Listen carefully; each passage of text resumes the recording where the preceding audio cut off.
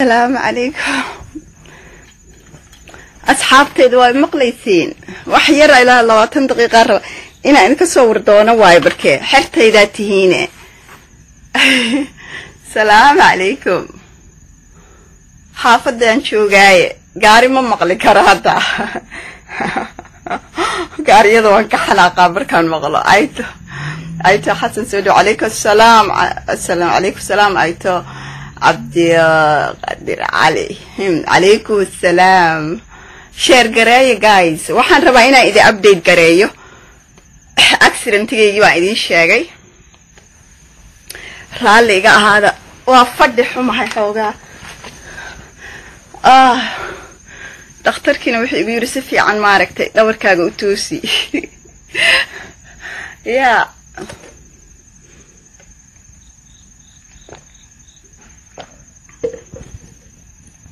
sheekooy wax yaraa dhan raba. Waa imaqlaysa soo maha codkayga okay. Soo maaha kow ku soo qor. Good. Okay. Waa idin jeclahay idinkana. Soo dhawaada sheer gareeya. Waa isweynay xoogaa shirki aan tegayna war baan idinka hayaa. Aniga xaaladaydana war baan idinka hayaa of course mas'uuliyad mas'uuliyadda anigaa isi saaro isu dirsaday waa mahadsantihiin kow waa arkaa. Maasha allah.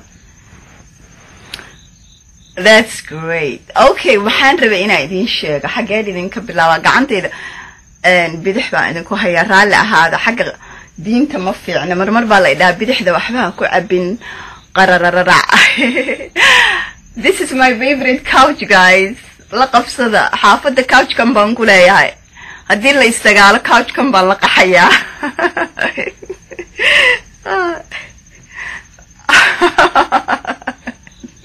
Asalaamu calaykum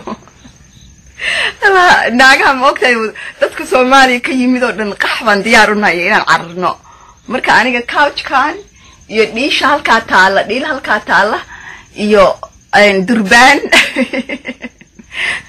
iyo xeero. Alaabtaasaan la cararaya haddii la kala cararo. Alaabta hidiya dhaqanka soo dhawow sahra salaantaada qaadiga soo dhawaada kulligiin. Okay ma raba inaan iska daldalmo. Marka waxaan rabaa in aad xaaladaydii accidentiga miyaan idiin sheegaa guys. Oo amback amback bila mahadsanid caddo ma xaaladayda accidentigaan idiin sheegaa of course aniga horta laf iyo biixi iyo faryarey xataa ima jabin. Haddaan accidentiga idinka sheekeeyana ma raba inaad accidentii oo dhan baabuurka carartaan xaalad xun buu ahaa laakiin dee waxaa la dhahaa marmarka qaarkood sadaqadu xoolo keliya lalama lala baxo ma ahee. Waxaan aaminsanahay inay tahay qof aad noloshiisa fudayd ka dhigtay. Qof bini aadama haddaad noloshiisa fudayd ka dhigto gays sadaqay idiin tahay aniga noloshayda waxaan ku leeyahay xoolo badan oo aan la baxo inta igu filan waa la baxay laakiin bini aadamka ehel ha ahaado ama asxaab ha ahaado ama aan jid ku arko dadka waxaan ahay nolosha in qofku qof walba inay nolosha u fududaato aaminsan okaadiye okaadiye waa laysi soo galay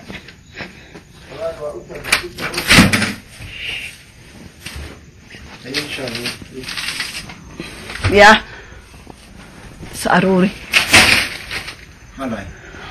meel baan ku jiraa shir baan ku jiraa yar. Oo daaqa albaabada u xiran. Marka waxaan dhihi karaa yacni dhinacaas wallaahi ilaahay annaga soomaalidoo dhanna waan u badannahay waddankeeni dad baaba'san baa ka buuxa in aan sadaqa la baxno. Waddankan waxaaba kuusii dheerba isbaarooyin yaryaroo professionala meel walba yaalla qofkii ilaahayda adna waad u fududayn kartaa adna waa haa yacni waa runteed xubi sadaqo waaye. Wallaahi saasaan u noolahay. Xataa caddaanka juwishka gaalada uma kala saaro. Bini aadamka dhan waxaan tari karaan taraa macnaheedu ma aha xoolo yacni jidkaas ay maraayaan haddaan u fududayn karo iga horgooya just dhaqan fiican baan leenahay gaay soomaalideenna ma dhaqan xumin. Marka waxaan rabaa inaan idinka sheekeeyo ma accidentigii baan idiin sheegaa mise waxaan idiin sheegaa shirkii ra'iisul wasaaraha shirkii ra'iisul wasaaraha oo aan si fiican wax yar idinku dulmari karo. Mise waxaan idiin sheegaa accidentigayga keebaan soo hormariyaa. Waan idinla tashadaa anigu. Waxaan soo arkay dab casar by the way. Waxaan soo arkay iyo duqbilow duqbilow taleefanadaan kala qaadanay. Yacni waa ballanay. Waxaan ku idhi isxasili nin yahow.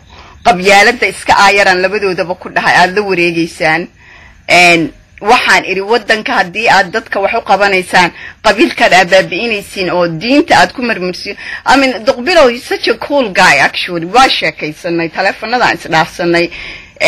Wuxuu igu yidhi qabyaaladana waxaa igeliyay markaan raba inaan wax taabto. Saasay tahay talada waa kaa qaadanayaa buu yidhi abaa waa iska yarayn doonaa. Laakiin abowheelo baa kuu sooray dab casar waaba la waalay wuxuu ahaan lahaaba dad baa waalay marka xaaladda waxaan idiin soo horumarinayaa maadaama aan accidentigaygii ku soo qoray bulshada baraha oo aad idinkoo dhan iisoo ducayseen waxaan rabaa inaan idinka mahad celiyo ducadiinii qofaan idinka idin mahad celin ilaahay mahad celin maayo. Waan idin mahad celinayaa idinka hal iyo labo inaan intaan awoodiyo inka badan.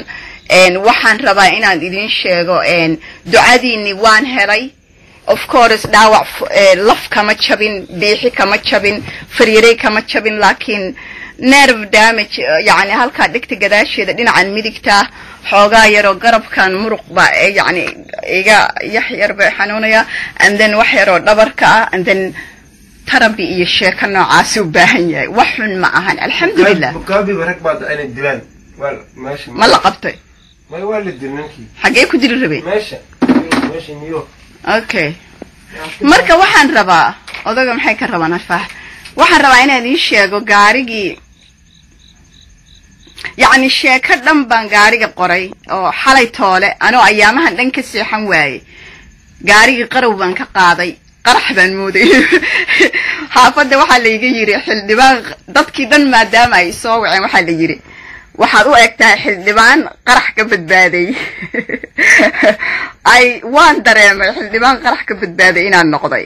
Sababtoo ah waa laygu forjaynayay laakiin waxaan ku leeyahay subaxii waagu markuu beryaan idinka soo bilaabaya xaaladeyda guud subaxii waagu mariyo m b r baan dhegaystay qosol yar baa idinka soo wadaa. M b r baan dhegaysanayay quraac baan si samaysanayay maalintaa ischool aan aadi doono oo accidentiga igu dhici doono galaas baan lahaa. Guys waan soo baxay waan waan quraacday yacni wiilkayga ischool baan u diray sheekadii baan kala yaryareeyey barqadii baa la soo gaaray waxyaabo badan oo waxaa jiray madaxayga ku jiray laakiin waxa ugu badnaa maalintaa madaxayga ku jiray. Subaxii m b r ka markaan dhegaystay baan waxaan maqlay u n summit kioo ka hadlaya trump master trump oo ka hadlaya oo dhahaya north korea wipe i'm gonna wipe out north korea the face of the earth baan ka wipe garaynaya. It was strange. Marka waxaan dhegaystay ten o'clock program ay ku falanqeeyaan oo oo oo la dhaho one a. M b r ka soo galo oo dhahaya yacni this and that and that. Yacni waxaan horey loo arag buu sameeyey. Sidee buu u dhihi karaa adduunyada nabadgelyo iyo soo dhoweyn meeshii la isugu yimid. Sidee buu u dhihi karaa? I'm going to wipe out the entire country from the earth. Waxyaabo noocaasa dad adiga khuburo ah professoro ah oo dad cuqaal ah annaga odayaasheenii oo kale oo aad iyo aada uga soo horjeeda arrimaha uu ku hadlay oo yacni waddanka fadeexad inay u tahay. Ani xataa waxaan isiri ninkan dhiikar buu qabaa. Anyway accidentigayga waa maalintuu dhacay oo calaykum assalaam kulligiin kulane mahad waa idin soo dhaweynayaa waa idin salaamay. Sheekada inaa idinka qasqasa ma jecli accidentiga suu u dhacaan idin sheegaya. Marka yacni accidentiga hadda kayskiisii waan handal garayn waayey because gaariga waa total aniga naftayda waa ku sigtay. Sheeko dheer buu noqday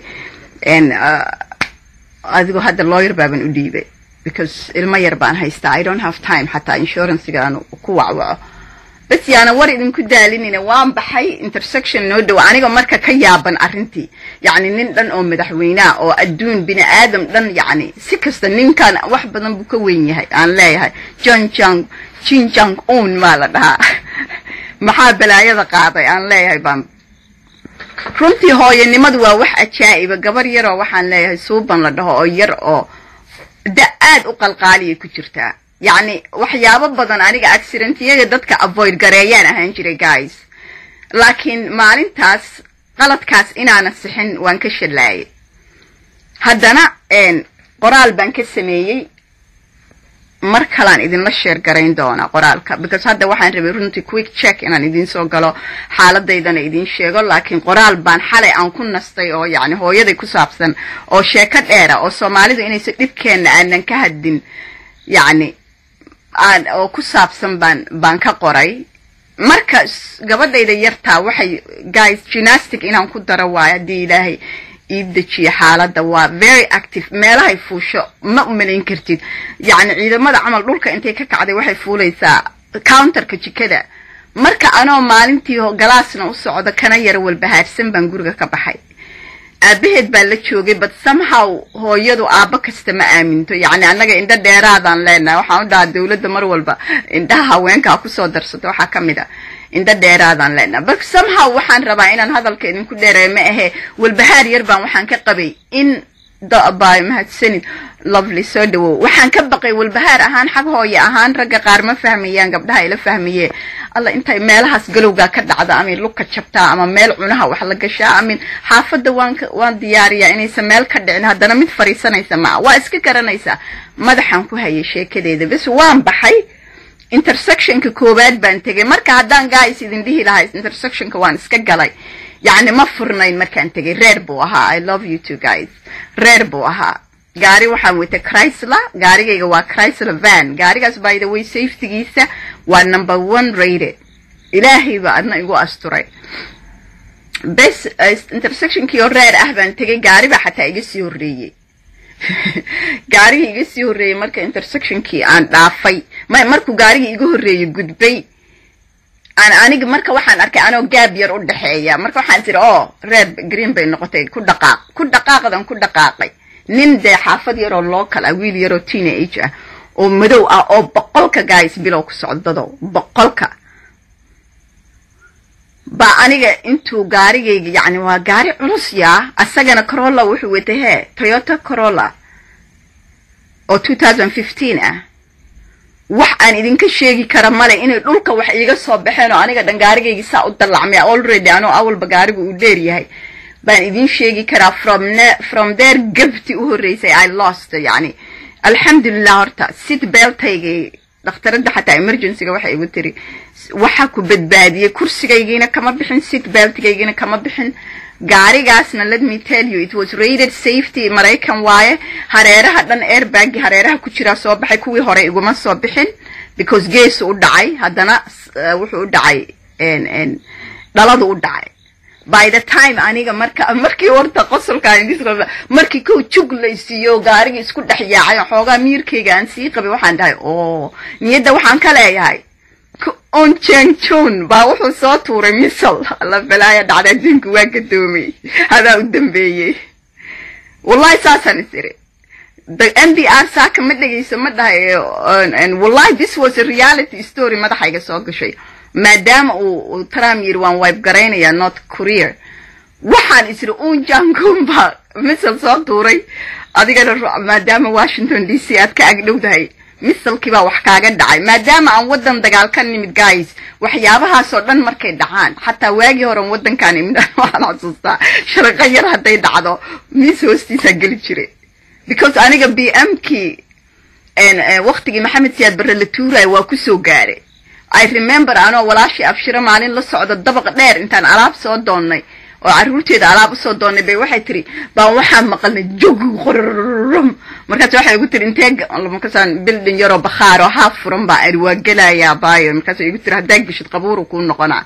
Dawcid yarna waan iska ahaa iyada iga weyneyd of course way dareemi kartay. Hadday igu xiranto emergency male cid iga soo saaraysa male waana madfac. Marka waxaan rabaa inaan soomaali badan oon aniga ka mid ahay u sheego nafteenna marmar ilaah waddan gaalaha nagu dilin keliya ma ahe psychologically waxbaa naga qarimay. Ani marka madficii misalkii baa ilaahay iiga dhigay wallahi ma moodeyn inaan keligay dhacay waxaan moodaya adduunyadii inay dhacday gaariguna sharqan weyn buu lahaa calaa kulli xaal gaarigii markii aniga aan miirsaday oo aan first time everything madaxayga ay soo galeen alxamdulilah i was like this beltiga ii xirnaa beltiga kor ii hayay waxaan go'aansaday marka inaan gaariga anigu waxaan isiri maskaxdayda waxaa automatically soo gashay inaan gaariga ka baxo oo aanan ku dhex dhimanin ama uusa igu ololin. Because qof walba bini aadama survival mode yani inaan isbadbaadshaan galay. Indhahan kala qaaday. Alxamdulilah bis daaqadii baan iska furay. Beltigii baan la dagaalamay inaan iska furo. Beltigii waa ii furmi waaye because anigii baa miisaankaygii ka lalmaday ilan gaarigii markaan madaxu u yaalaayo codkayga waa caadi soo maaha. Marmar baan speakerka gacanta saaraa. Bes adiga ninkii igu dhacay baa markuu arkay inaan albaab iska soo furay intuu farxay buu soo orday. Wuxuu islaamidhaa ilmo iyo reer baad ku baabiisay waa family car. Alxamdulilah gaa ilmahayga ma wadanin keligay baan ahaa. Qof kalena ilama soconin. Bes gaarigii soonkiibuu saas saas saas baan ula diriray markaasu intuu ibushgareeyey ilan asaa maskaxaye aniga meesha layga haysta ma fahansanayn baan suunkii ana dhag iska siiyey anoo cagacadan banaanka u soo booday kaba jambalaan watay meeshaan uga soo tegay. Waxba yaana war idinku daalinin. Emergencygiion ii imaanin baan meesha ani ka soo baxay. Alxamdulilah wax lafa ima jabnayn laakiin familigayga waxay igu advice gareeyeen inaan dhakhtarka ku sii socdo waayo waxaa laga yaabaa gudaha dhiig inuu jiro. Waxyaabo kale aniga weligay accident noocaasa ma igu dhicin.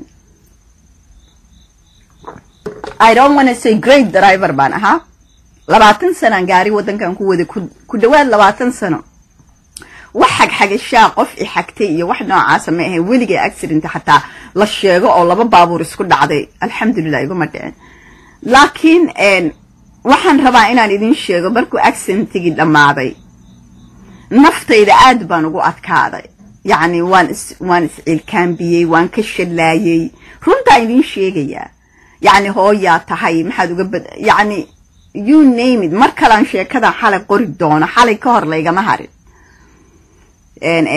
Aniga hooyo la'aanaan soo koray mas'uuliyad badan baan ku soo koray. Marka waxyaabihii dhana i hantigareeyey psychologically yacni anxiety bay igu noqotay. Waan seexan waayey. Sariirta markaan seexdo waxaan ku qarwayaa gaarigiioo ila dhacaya it was trama dadka oo caafimaadka yacni qofka taraamadan ku dhawaaday waa yacni qaracanka ugu darano qofka bini aadamkaa maro waa marka uu dhiman rabo ama bad ku dhimo ama gaari ku dhimo ama madfac ku dhimo ama qaraxi soomaali ka dhaco. Waxaad ogaataan maadaama intaan halkaa ku jiro. Waxaad ogaataan annagoo intaa dagaalkii sokeeye ka soo maqnayn dhibaatada ay nagu hayso. Dad badan oo maanta nabadda ka abaayo raalli waan ahay ilaahay baa imahadiyey dad badan oo maanta waxaa jira soomaaliya oon aniga oo oo dadka anigoo kale ah oo aan soomaaliya inayna nabad noqonin rabin. Guys aniga accidentigayga wuxuu isoo xasuusiyey. Waxa ay la mid tahay qofku inuu maalin walba dagaal ku jiro. Qofku inuu maalin walba naftiisa badbaado ugu jiro.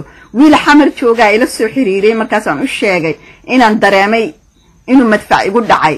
Markaasu wuxuu igu dhahay walaalay anigana hadda ka hor intaan laba sano sanad ka hor gaari saas ii maray baan qarax mooda. Xamar buu joogaa. Marka wuxuu igu yidhi dhakhtar baan shan bari ku jira shaak anigaygana idinla hadlayo waxaa la iisoo qoray. Irbad baa laygu duray habeenkii oo la ii raaciyey biyihii faleebada maalin sabtidii baan ku noqday ka dambaysay arbacadii. Sababtoo ah waan seexan waaye waan nadi waaye yacni waxaan idiin sheegayaa madfacan iyo taraamadan dadkeenni waxa ku soo dhacay. Maanta waxaan u soo galay inaan idiin sheego dadka nabadda ka soo horjeedo dadka soomaaliya inay degta ka soo horjeedo waxaad ogaataan. Waxaad ogaataan tan iyo maalintii soomaaliya ay ninety somethingkii dagaaladu ka dhacay ilmihii ku dhashay ama colaad ha galo ama shabaab ha galo ama hooya weli ha haysato waxaad ogaataan weli taraamada noocaasa inay ku koreen. Wallaahi bilaahi taraamada noocaasa oo kale ah oo maalin walba ma noolaan doonaa berri i love you too. I like to see that because ma idin arko. Inaad ogaataan wax walba oo carqabad ah oo aadna mari karin wallaahi waxaan u soo galay maanta soomaaliye haa wallaahi waxaan u soo galay more than anything.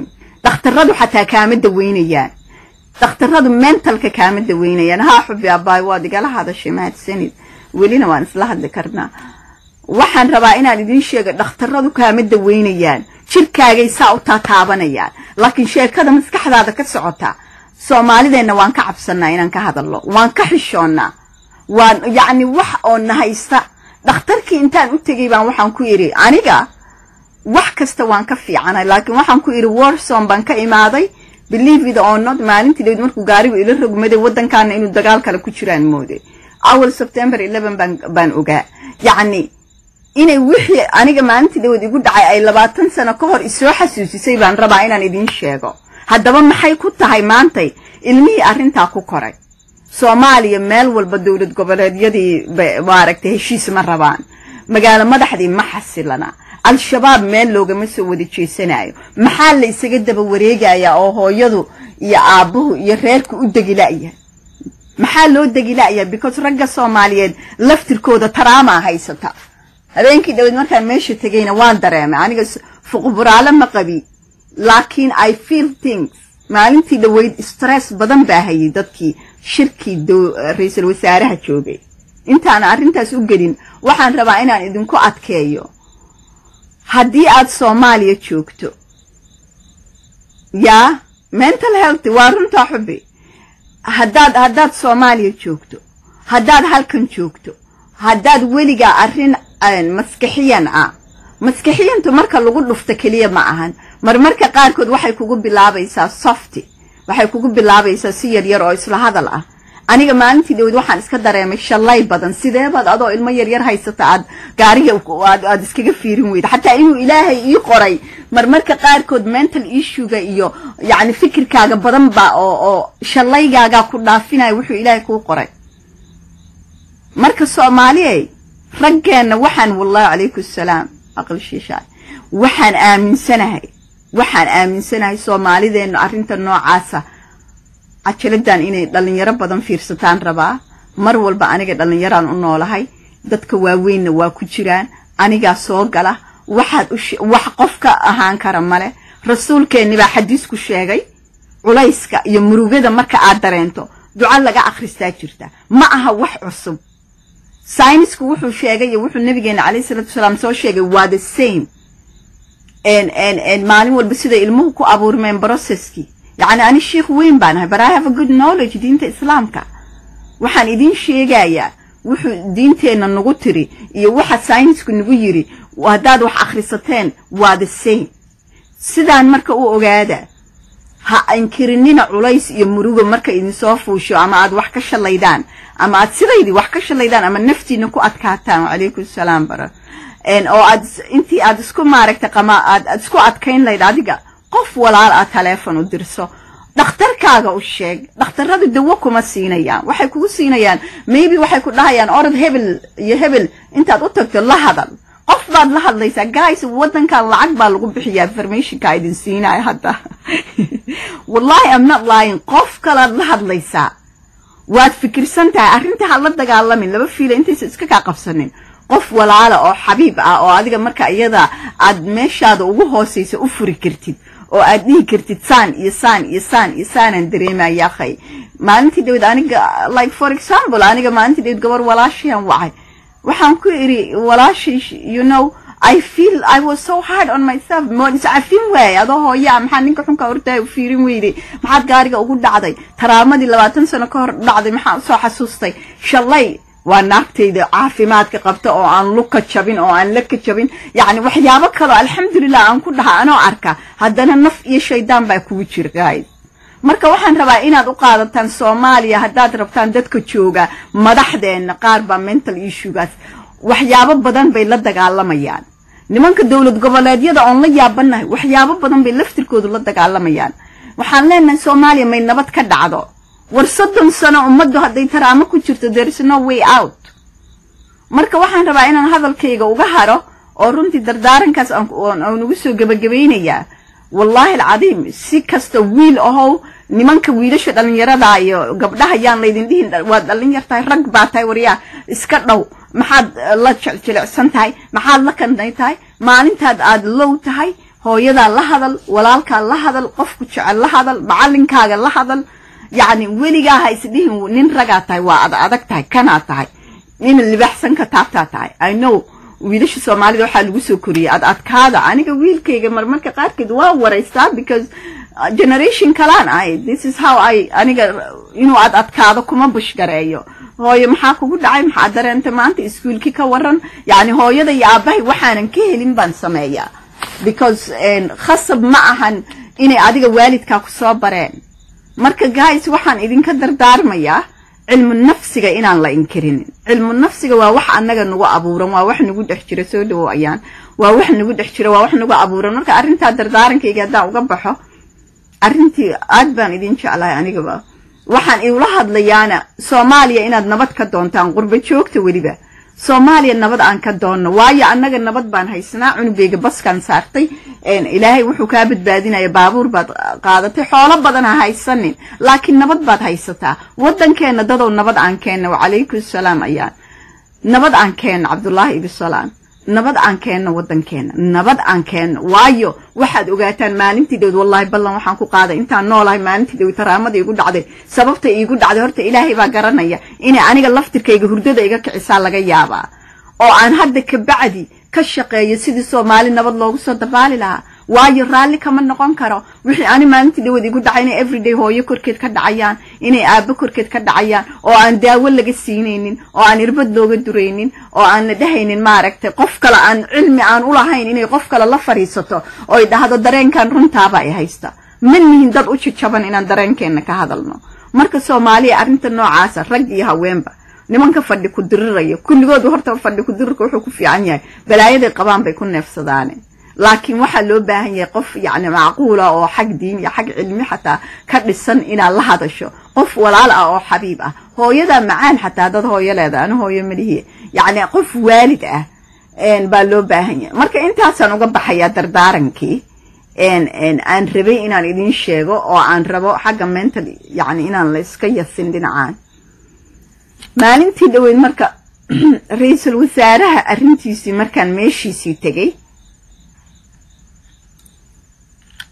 dee anugu kollay si dhexdhexaad baan u hadlayaa oo dee maaragtay jawi aada u fiican buu ahaa oo arrintii ra'iisul wasaaraha shirkii washington d c ka dhacay virginia baan tegey shan iyo labaatankii bisha waa sabtidii. Anigoo weliba wallaahi idinkaan idiin aaday waayo. Dhaawicii fududaa anoo qaba oon aada u kabsanin baan islaan intaan baryey baan iri gabadha yartaa ii reeb. Yaxyana waa watay. Waxaan u baxayna abaayo naxariis hoy abaayo aamiin ayaane. Waxaan rabaa inaan idiin sheego marka shirkii waan tegey gaayid shirkii dadkii u horreeyey oon tegey baa ahaa. Meel baa la saxiixayay emailkaagaad qoraysay safaaradda soomaalida oo waxaa hoostigaraynaya ku yaalla washington d c. Meel abaarman camal ay degan yihiin baa soo dhaweysay.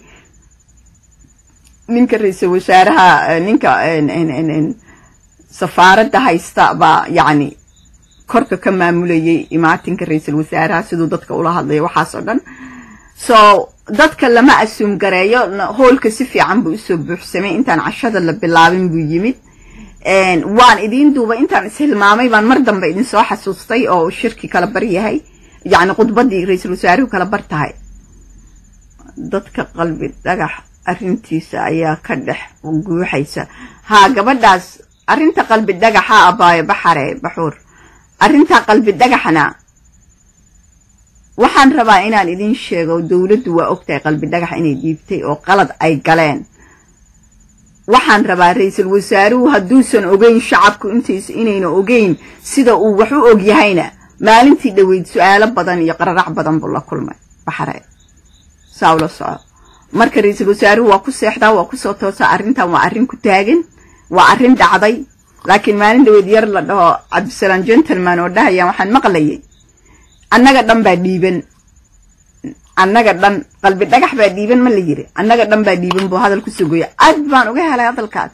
Sababtoo ah siduu sheegay waqooyi isagaa naga badiya jubbal puntland isagaa naga badiya isaga yacni yar kale asna sheegayay dhalinyarada midnimu ka mid yahay yacni hadalkiisa wuxuu aniga aan ka dareemay waddanka dhan baa dhiiban haddii aanan is aruurin oo aanan tashan oo aanan dowlad noqon oo aanan hooyada maalin walba qarxa xamar ku haysto oo baydhabo ku haysto maaragtay jidadkii laysku furi la'yaho beerihii laga abuuran la'yaho la adduun yacni it's really waxyaabahaas haddaanan kabsan oo aan amison naga bixin oo aanan ciidan qaran helin of course annaga dhan baa dhiiban.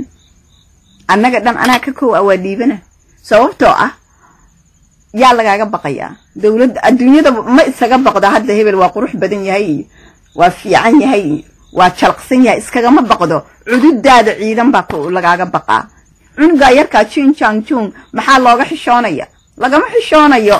Waxaa la ogyahay inuusa xishoonayn waxaa la ogyahay inuusa xishoonayn caqlig ma kala geyn doono.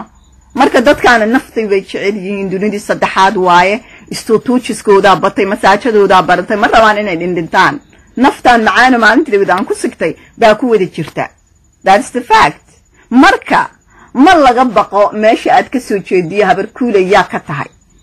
Laakiin cududda ciidan ood haysato guys. Cududda ciidan ood haysato unbaa meel uga soo bixi kartaa libaaxyada afrikuu yidhi maalintii dawad ra'iisul wasaaruhu waxyaabaha aan u qiray abaalka aan mar walba u siiyey ra'iisul wasaaraha waxaa ka mid ah dowladdii maxamed siyaad barre iyo dowladihii ka horreeyey aadan cadde iyo dowladihii ka sii horreeyey cabdirashiid cali sharmaarke. Buu taabtaa buu taabtaa. Wuxuu dhahaa meesha aan joogno ayagaana keenay. Wuxuu soo taabtaa xasan sheikh. Wuxuu soo taabtaa not necessary inuu magacyadooda sheego. Not necessary inuu magacyadooda sheego. Laakiin meeshan waxaan ku joognaa khudbadiisii waxa aan ka helay uu yidhi meeshan waxaan ku joognaa wixii ay soo qabteen dowladahaas hore. Meeshii ayna soo gaadsiiyeen baan ku joognaa. Ma yahay inaan ku joognaa buu yidhi. Ma fahante marka sidaa daraaddeed khudbadiisii intaasaan horta ka helay. Wuxuu yidhi karaamadii mar walbana wuu dhahaa. Karaamadii iyo sharaftii aan lahayn aan soo ceshano i like to see likes and love hugs waa xaqiiqa. Wuxuu dhahaa ha maxamed jaamac waa runta. Wuxuu dhahaa yacni meeshaan ka nimid jiranjirooyinkan ka nimid buu sheegaa. Aniga maalintii dhaweed meel geesaan fadhiyay by the way brotocool xumo badan baa meesha ka muuqatay. Arrinta qurba qurba joogta aniga halkan aan kala hadlayo. Ra'iisul wasaaruhu waa shaksi dad waxaan arkayay intaana idiin soo sheeka dhaafin khudbadiisaan rabaa inaan waxyaabihii aan ka helay aan idiin sheego. Wuxuu yidhi dad waxaan ahayn lagu yaqaanay geesinimo iyo karti iyo iyo iyo inay yihiin. Adduunyadu inay cudud laga cabsato lahaayeen. Marka ina way ina way aniga waxaan ka mid ahay dadka dhaha khadaafi iyo maxamed siyaad barre haddaad aaminsanaydeen in ay kelidshado ahaayeen waxaad ogaataan waddamadooda waxay u tareen wax ay taariikhda xusayso. Taariikhda la sheegayo waa hadda aniga idinla hadlaya. Taariikhda la sheegayo waa waa waa maaragtay dagaaladii lagu xoreeyey maaragtay amxaarada lagu saaray. Waa kii ingiriiska lagu saaray. Waa kan maanta ay ra'iisul wasaaraha iyo ay ku soo galeen sideedii may. Baarlamaanku markuu doontay sideedii february markuu doortay.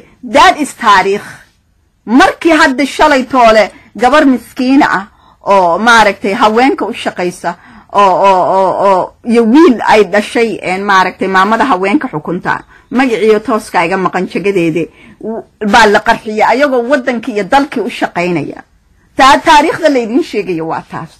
Taariikhda laydiin sheegayo waa inaan yaxyahayga waday oo uu ra'iisul wasaarihii waddanka la kulmay anoon ku cid ahayn anoon ku dad ahayn anoo weliba aaminsan qalbi dhagaxa inuu khalad u dhiibay. Ma og tihiin yacni wax ka daran in waddamadan lagu tanaasulo. Maxaa annaga annagoo dawlad burburtay ah hadda haddaan aniga la soo istaago habarkuuley baa layga dhiibay iyo kana igu dhacday iyo keer bay ka dhacday. Gays goormay hooyada baydhabo joogtaa ceel loo qodayaa.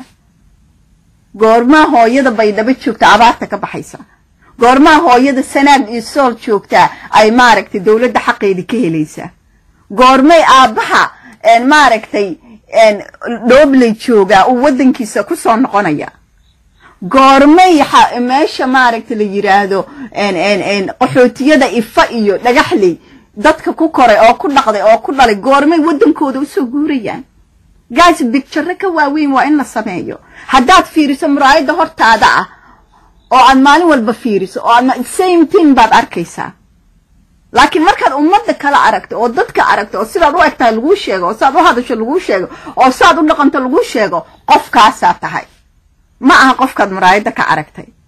Soomaaliya maantay muraayad iskuma fiirin karto gays muraayad. Hira ayaad ka odta waxaan kaloo idiin sheegayaa oo uu ra'iisul wasaaraha khudbadiisii aan ka dhadhansaday iyadana even though uu jeclaan lahaa waddanku inuu waan dhihi karaa aniga qof ahaan khudbaddii uu siiyey qurba joogta kalabar marka loo fiiriyo barna ma khusaynin. Oo annaga waxaan rabnay waddanka waxa laga qaban karo.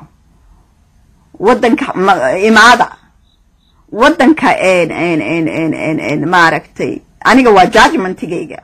I'm not the best judge but I'm saying waddanka ciidan qaran buu u baahan yahay meel hebel lacag ku soo shuba. Horumar ha la gaaro.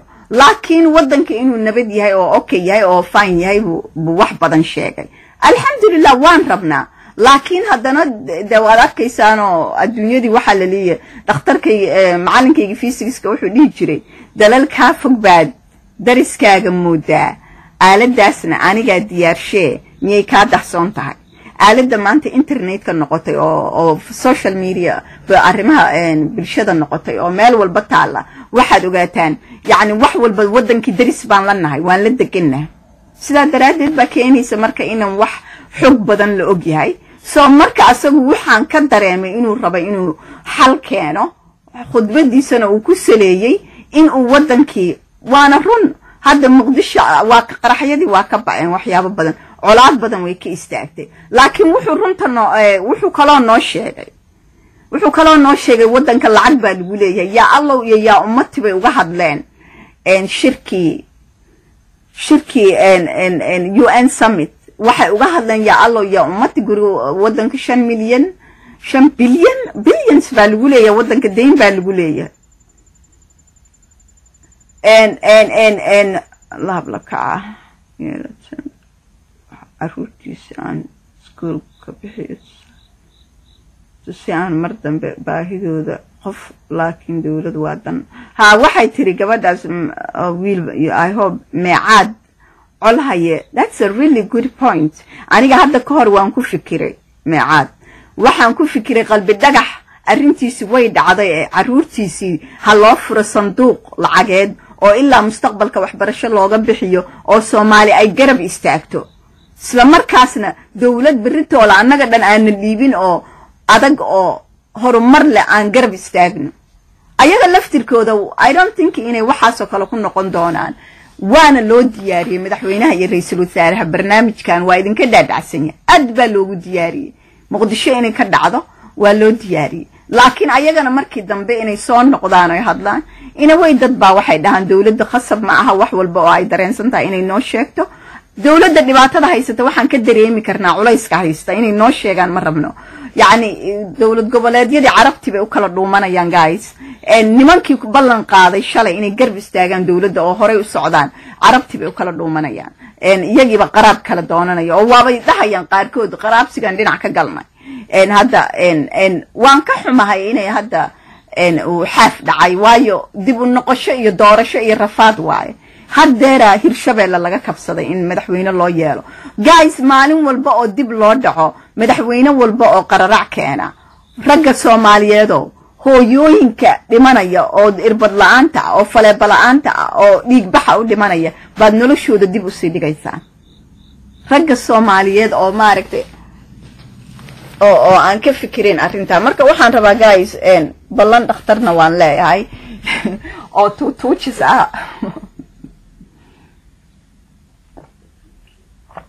anyway exercise aan caadi ahayn baa meesha iga soo gelayo. Marka abaayo gabadha najma waa tuugay tiri abaayo tuugo. Lix bilood or sanad wixii ka badan hala siiyo waxaas kuma dambaabi karno. Sababtoo ah nin soomaaliya madax looga dhigay waa nin libaax wejiga ka fiiri la yiri subax walba oo labada dhegood haya. Wax sahlan ma ahan guys. Midda kaloon rabo aan soo ogaaday inaan idiin sheego waan idinku soo noqon doonaa waan soo miirsanayaa hadde waxaan rabaa barnaamij fiican inaan idinka sameeyo yacni waddanka meel dheer buu jiraa. Qurba joogteenna waxaan u malaynay xasan sheikh ninka la yidhaahdo farmaajo iyo ra'iisul wasaare khayre. Ilaahay hala garab istaagee markay waddanka qabsadeen waxaan iska dhaadhicinay sidii shimbirta inuu waddanku weliba shimbirtu saasay u duushaaye. Sidii maaragtay diyaaradaha qumaatiga u kacayaa ila yaqaanaa. Helicopter maa la dhahaa sidii helicopterkii inuu u kaco? Oo uusan xataa runway yeelanin?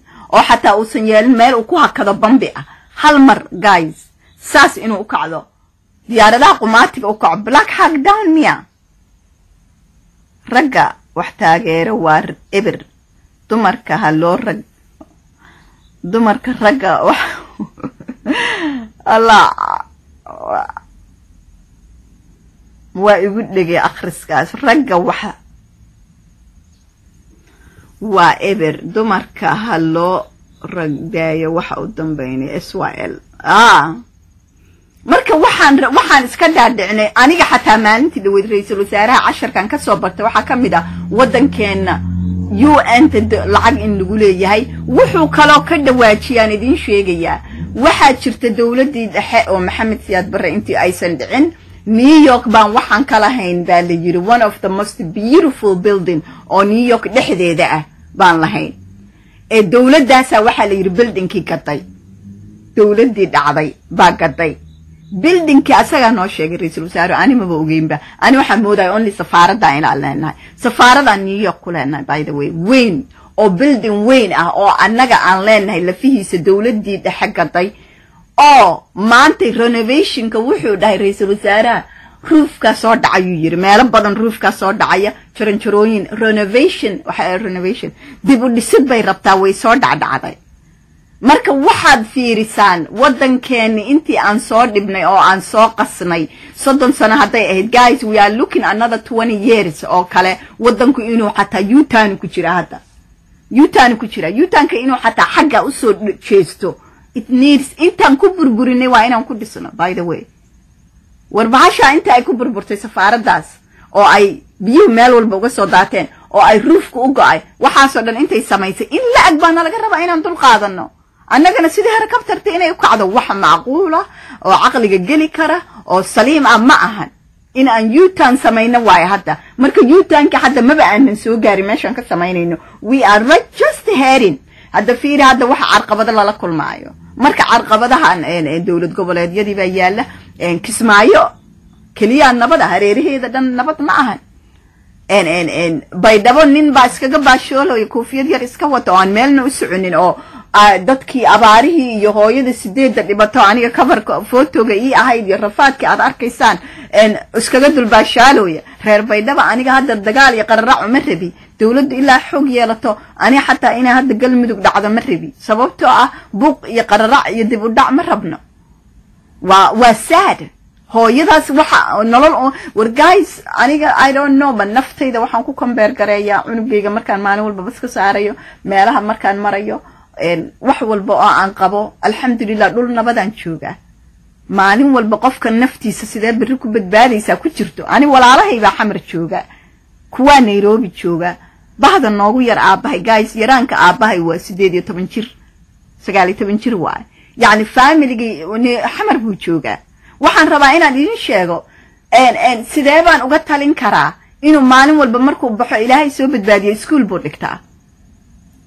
Ma fahamteen marka waa in aan ka talino waa inaan ka talino waa inaan dhagax laqno arrintii qalbi dhagax hadday dhagax nagu tahay aan laqno bal midaan taaganahay. Haddaanan annaga dowlad noqon haddaanan meel ka soo wada jeesan oo ciidan laga baqo cudud leh aanan meel la imaanin annaga dhan baa dhiiban. Siduu wiilkaas sheegay cabdisalaam gentleman baan ka maqlay. Waa xigasho waa iga xigasho because i really maskaxdeeda erey joogaa oo aan ka bixin buu noqday markuu ereygaa yidhi. So aniga waa idin sheegay xaaladayda. Ra'iisul wasaaraha keliya waxaan kaloo dhihi lahaa maalintii dhowd shirka qurba joogtii timid hadday maqlaan. Xoogaa brotocoolka haweenka weliba haweenka ka yara maqnaa yacni ya ra'iisul wasaaraha salaam professionala salaan ha ku salaamo laakiin hebelow xasan cali khayrow inta soo fadhiiso yacni this is the ra'iisul wasaarihii waddanka inuu reer ka soo jooda ha ka dhigin. Inuu family matalaya ha ka dhigin. Magaciisa ha ugu yeerin mudane ugu yeer. Runtii waan aniga i don't know waddankaa noloshayda kala bar in ka jooga guys. Maybe anaa professional too much noqday miya anigaa mindhaa u baahan in la dhaqan celiyo. Maybe. Laakiin haween inta muddo joogay oo aan garanayo ama aroos ku arkay ama shir ku arkay brotocool badana ka maqnaa. Hay maqlaan hadday rabaan. Hadduu ra'iisul wasaare yimaado hadduu madaxweyne yimaado hadduu allayle waxaan sadiiq warfaa yaan la kulmay nambarkiisana waan ka soo qaatay. Isaga xildhibaanna waana wasiir numberkiisana waan ka soo qaatay waana isbaranay qofkaan ahayna waa isbaray waxaan idhi qof saasa ahay dowladda yani samaha ka talisaan idhi don't necessary inaan dowladda yani shar iyo khayrba ku sabood gareeyo but positively inaan dowlad yeelanaan rabnaa. Ma rabna inaan isku dhex yaacno. Marka numberkiisu isoo siiyey marka waxaan rabaa inaan at least u sheego dadkii maalintii dhaweyd iyo dad la mid a sheer gareeya si ay dadka ugu tagto.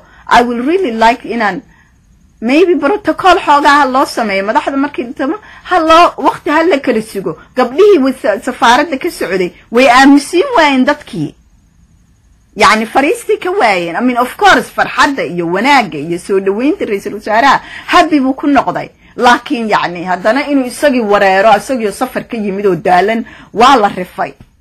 Meel walba naag baa uga dhegan. Mid kalaa dhinaca uga jirta. Qara i don't know haweenkeenna xaggeenna ragga okay bay ahaayeen distance ay siiyeen aniga i give distance. Hal mar baan wiilkayga u geeyey? Ninka wasiirka ahaa ninkii ra'iisul ambasadorka ahaa baan isku yaro dhacnay oo igu yiri na wiilka meesha ka wada waxaan ku idhi wiilkayga waxaanba u keenay inuu hal mar. Ra'iisul wasaaraha cunuga keliyoo joogayna waayaan dhahay. Aggressive baan ku noqday he need to see baan ku idhi isagoo intaas u soo safro ilmo yara isagaaba habi ka dhigaye dadkan waaweyn. Marka calaa kulli xaal waxaan idiin sheegayaa sida kale wallahi si qurux badan bay ay u dhacday. Honestly cunto fiican oo casho fiican oo nidaam la la cunay. Heese wadan iyo wiilasha magaaladeena jooga cajalada duuba oo aada u qurux badan baa la qaaday. You know aad bay u qurux badnayd sideeda kale. Intaasaan idinka tegayaa yaakhay waad iisoo ducaynaysaan. Qasab. Aada iiga soo duceeya. Duco badan maaragtay galaasyadii labaan qaadanayay mid baan daroob gareeyey waxaan ogaaday gabadhayda yarta ah. More time inay iga rabto guys. Marka waa daroob gareeyey mid keliyaan la soo haray. Iisoo duceeya of course caafimaadkayga inta ka dhidhiman in ilaahay iisoo ar aruuriyo ducada qof walbay ku jirtaa ani laftirkayga shiiqad yaro qarsoon baan ahay waa idiisoo ducaynayaa. Shar iyo khayr allaha naga dhowro. Waddankeena ilaahay dowlad goboleedyadan sheekadan kacsan. Ani waxaan aaminsanahay kacdoon shacab baa jira allah naka aamiin aamiin baashi kacdoon shacab baa jira kacdoonkan shacabkana waxaan aaminsanahay dowlad goboleedyada ama way tuuraayaan ama dowlad goboleedyada meel looga soo jeesto oo hana ah bay yeelanayaan marka ilaahay waddankeena nabad ha nooga dhigo waxaa nagu og libaaxyadii geeska africa in la soo celiyo ciidamo qaran in la soo celiyo anigaygan yacni talo in la isku darsado marka goboladan iyo iyo iyo dadkan baahaysan iyo abaarahan iyo biyaha wadankii ka buuxa farmaajo wuxuu yidhi biyahaanaan soo bixinaya. Maalin walba carabtii baa loo kala dhumanaya. Haddee carabtii hadda carabtii buu aaday. Because waxay bilaabeen inay lacag u qarqariyaan dowlad goboleedyadeena inay naga daba shaqeeyaan. Carabi kula dagaashay waaba dhowcilo war caddaankaaba ii dhaamayba weligay carab haddaan wax ku xajkoodana waa u daynaa. Anigaaba carafaaba la iigu magac daray buurtaas weyn baa la magac daray. Laakiin marmar markaan ka fikiro xinka iyo balaayada iyo ina annaga shidaal nalaga helay ka dhimanayaan. Wax kale kama dhimanayaan. Marka waa idin baryaha igu kicinina nimankaas markaan soo xasuusta xajkaan nacayaa yaan layga garanin. Marka aada iigu soo duceeyay asalaamu calaykum. Maalinta ha idiin wacnaato khayr badan baa idin rajaynayaa salute my people salaamu calaykum couchkaygana waa kaas. Aan rabo mustaqbalka inaan la qaxo my window. That's our window. Salaamu calaykum by waa idin jeclahay iisoo duceeya. Khayr baan iskuna ognahay bashbash iyo barwaaqo. Waa kastee waa fiicanahay.